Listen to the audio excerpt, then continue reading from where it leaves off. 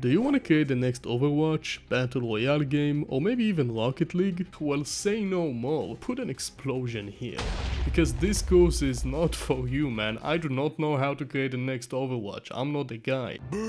However, we are gonna be creating a very nice, solid 2D multiplayer game using the new networking solution called Fusion. We are gonna explore the fancy topics such as client-side prediction, server reconciliation, lag compensation, and so on. Now the cool glasses and the fancy words should do the trick, but if not, let me tell you the cool stuff. The first thing is that at the end of each video you get the project files, as well as some other useful links I recommend you to check them out.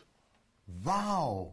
Second thing is that there is a Discord channel, so I'm gonna be online and try to provide as much support as I can. And the last thing is that Fusion is a very cool networking solution, and in fact, according to the website, Fusion is actually the replacement of PUN. However, if you are new with multiplayer development, this could be a challenge. A fun challenge, but a challenge it will be. Anyway, although you are not gonna see my beautiful glasses and my cool face, we are gonna be going through this long journey together. So yeah, get excited, and if not, then thank you for listening to my morning coffee voice, and I'll see you, hopefully, in the Discord channel. Hands up, hands down, hands Bruh.